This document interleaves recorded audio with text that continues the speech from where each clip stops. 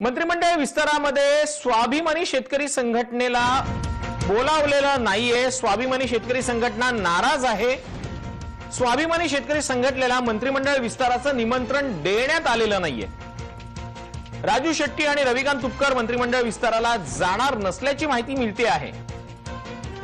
थेट जाऊयात. आमचा प्रतिनिधी सचिन जाधव याच्याकडे जो फोनलाईनवरनं जोडला गेलेला आहे. सचिन काय नाराजी स्वाभिमानीने व्यक्त केलेली आहे?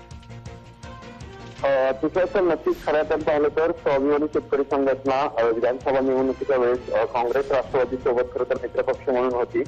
ज्यावेळेस आता महाविकास आघाडीचं सरकार आलं त्याबाबत खरं तर शांतता निर्माण होती की स्वाभिमानी शेतकरी संघटना त्यांच्यासोबत राहण्याची जाणार. मात्र स्वाभिमानी शेतकरी त्यांच्यासोबत राहणार असतानाच एक चर्चाही चर्चा येत होती की मित्रपक्ष म्हणून राजू शेट्टी यांना कदाचित काँग्रेस किंवा राष्ट्रवादीच्या कोट्यातून मंत्रिमंडळात विस्तारामध्ये त्यांना स्थान मिळेल. मात्र ही हे सर्व होत असताना आता मंत्रिमंडळाची यादी तयार झाली मंत्रिमंडळाचा विस्तार होतोय.